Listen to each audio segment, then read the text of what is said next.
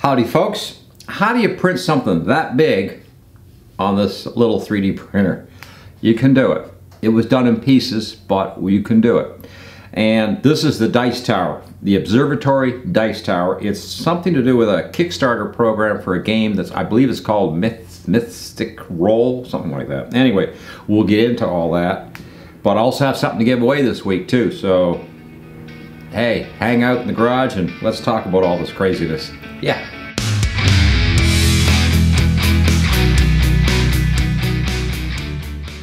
The observatory, man, this thing came out really cool. You put the dice in up here and they come out, well, they go down the stairs and they come out the bottom here and they're captured in this rock uh, area. I think the whole model is just absolutely was interesting enough looking. Normally I do tool related sort of things. This is more toy, I guess, and usually I don't really do toys, but when I saw this thing, and of course also had this filament come in from uh, Kingroon, I, you know, I think this is the project. We got to do this tower and just make it look absolutely wild. There was a mistake uh, with the Kingroon that really was, it was okay, but we're going to look at it. I did not finish glue, I didn't glue this up. This is not glued together yet, so it will be, I guess after today's show, I'll put the glue on this though so the whole thing is one piece. Right now it's just not. Uh, I can lift pieces like that off. Oops. yeah.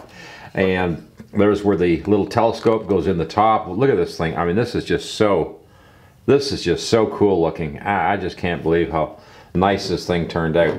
And let's see, yeah, it goes back that way. This was the other uh, issue that happened. Ta-da, yeah. That's called, this is not the printer's fault though, but it was a mistake.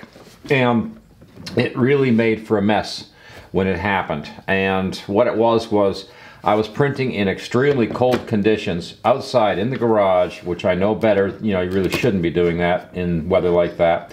And sure enough, the uh, plastic froze up just enough to clog the nozzle.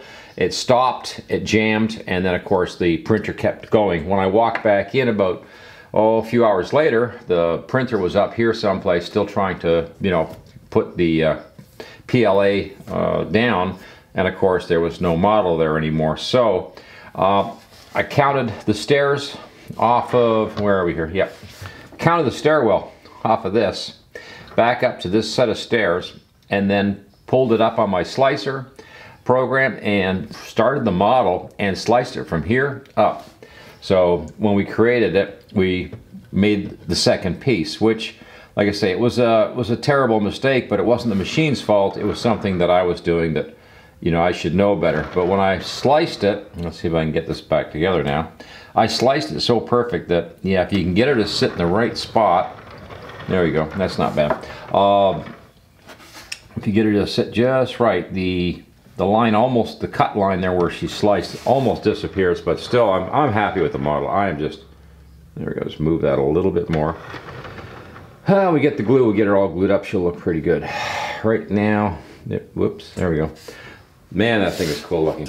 And that, is, that has got to be, this is the uh, observatory tower and also for the dice, in which I had to go around the house and look, but I found some dice. So they go in the top here, yep, and down the stairs and come rolling out. We just rolled uh, six, not too bad, I guess. But I have to get this glued together before we can really uh, be playing dice with it. But I just wanted to you gotta, I thought, you guys, man, you see this thing? You just can't believe the color. In fact, when I'm here live, this color, the shine and everything on this thing, it's just, it's just, it's a gorgeous 3D model that's just wow. So making the dice tower, I learned a lot of lessons, uh, it, you know, because there was a lot of, I guess there was a number of mistakes. Some of it was involved with this particular printer and also some of it was this particular model. I keep hearing a scratching sound. Um, just a second.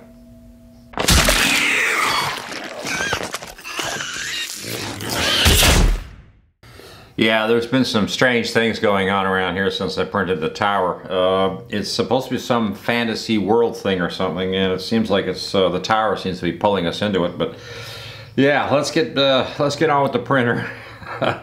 Cold temperatures, Bad idea. Uh, we were about 40, probably about 43 degrees or something in the garage, which I should have known better, but I went ahead and ran this off in the garage and it was like yeah, we had the printer jam. But also I am noticing I am having some problems with the uh, nozzle here on this particular printer. So that's kind of a concern because this is a new model and I was like, whoa. So yeah, uh, there's a problem with the jam. And when you go to remove the filament, it doesn't seem to want to come back because it seems to like mushroom. And I've seen this before in some old uh, extruders from way back, oh man, a good five years ago or something. So this is not really a new problem. It's something that keeps seeming, it comes back, you know. So to get around that problem, the Bowden tube is, if you want to call it a Bowden tube, it's more like just a guiding tube.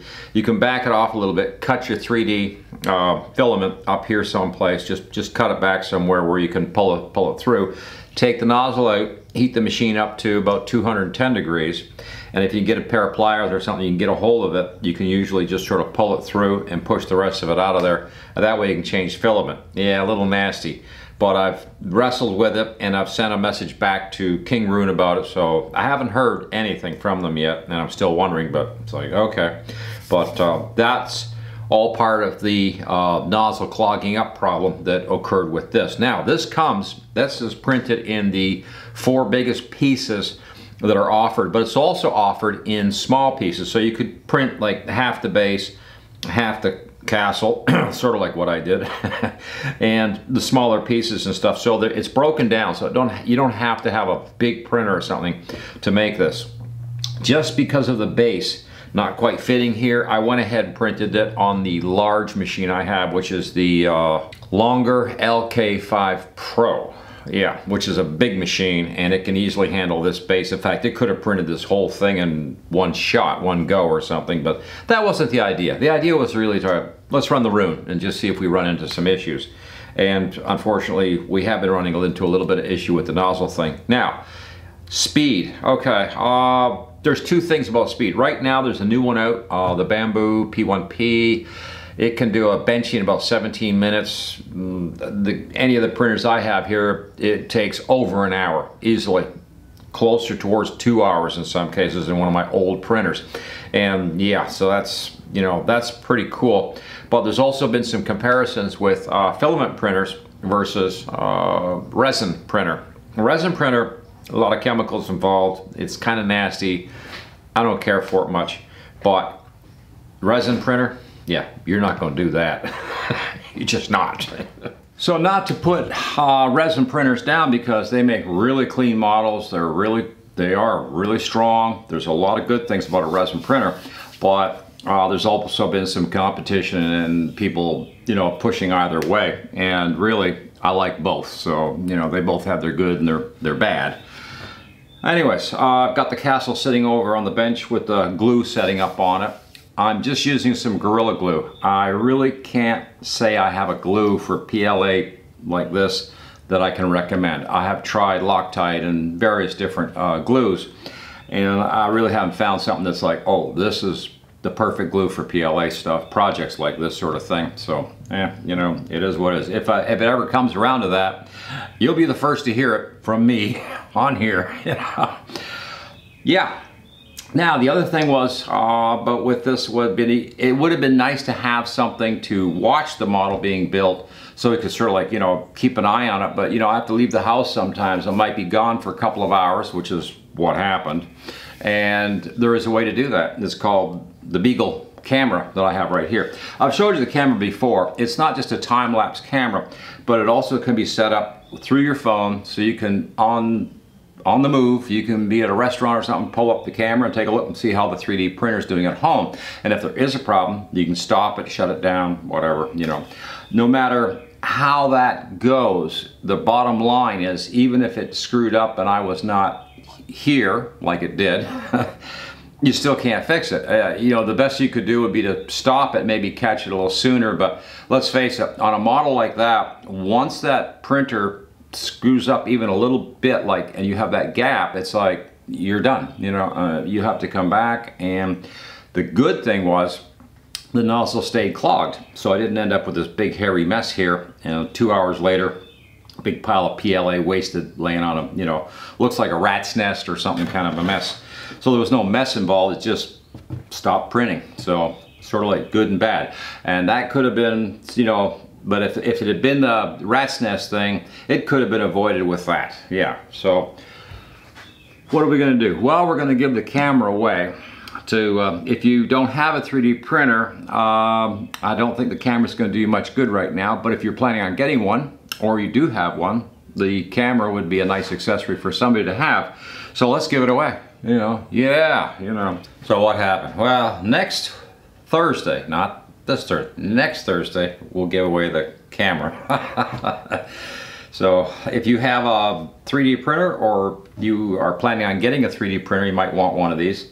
This is uh, hooks up through your cell phone and you can monitor your 3D printer. Also do time lapse, you can do all kinds of really cool shots with it.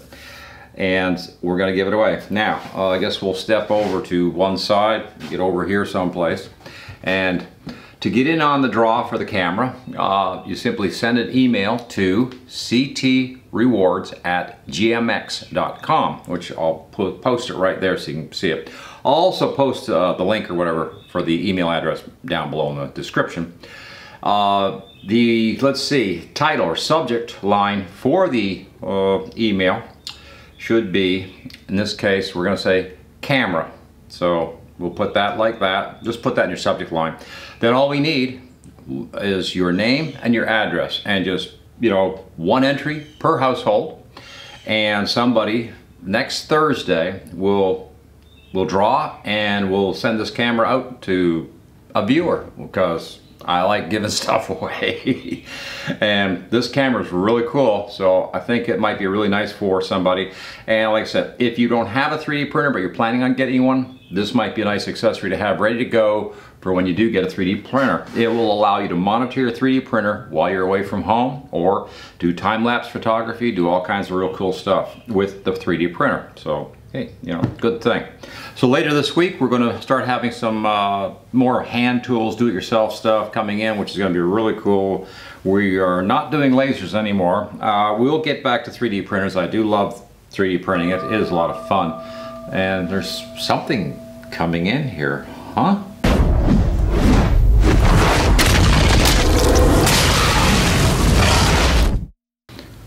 Wow, it was just a dragon. Again, something fantasy about this crazy dice tower. The uh, glue is still setting, so I moved it over here, but yeah, I'm not gonna really touch it, yeah, for now, until it's all set. and then we can get some, uh, get the dice out and, you know, run them through. Meantime, uh, we've got some tools coming in, uh, like I was saying, and yeah, we've got a new sponsor on board that's going to be supplying hopefully some really cool do-it-yourself tools for around the house, the garage, the car, whatever should be good. Got to thank everybody for watching Coffee and Tools. Thanks for tuning in this week. And uh, please like, share, subscribe. Ring the notice bell so you don't miss giveaways like we give stuff away. And we're going to be giving more cool stuff away. Yeah, coming up. Meantime, um, I have got to get away from this thing. This is too weird. Okay, I'm out of here. Over and out. Have a great day, everybody. Meantime, I'm going to go play uh, this game, Munchie. It should be fine, right?